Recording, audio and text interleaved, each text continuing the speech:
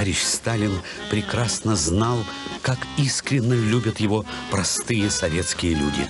Поэтому он никуда без охраны не ходил. Ну, здравствуй, Пентюхов Иван.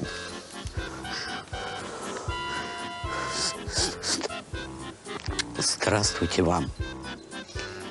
Вот приехал спросить тебя, Пентюхов Иван, что ты хочешь? Я ведь день и ночь работаю, чтобы рабочие крестьянские желания исполнять. Ой, спасибо.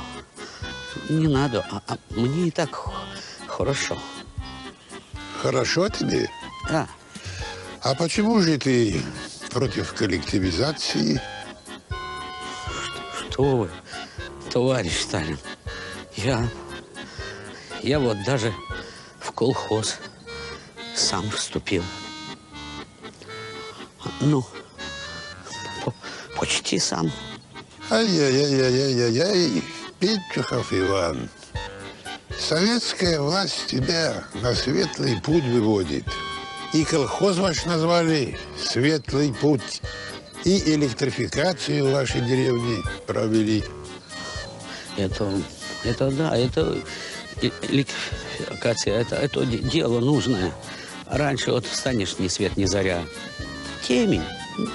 А надо лошадке овса задать, корове с теленочком сена, свинкам там у трубей. А так в потьмах башкой того притолоку бабах стукнешься или ногой в коровью лепешку вляпашься.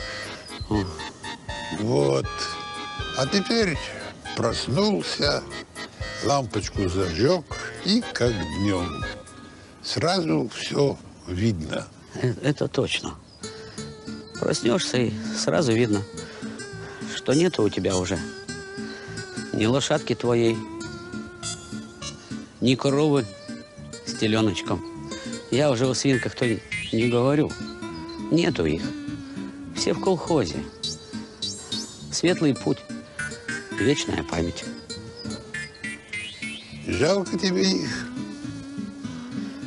Жалко, товарищ Сталин. Так хочется их вернуть. Мне, мне их так жалко. Каждый раз думаешь, лучше бы я и не просыпался. Вот. А говоришь, что у тебя нет желаний. Помогите товарищу, и чтобы уже завтра утром он не проснулся.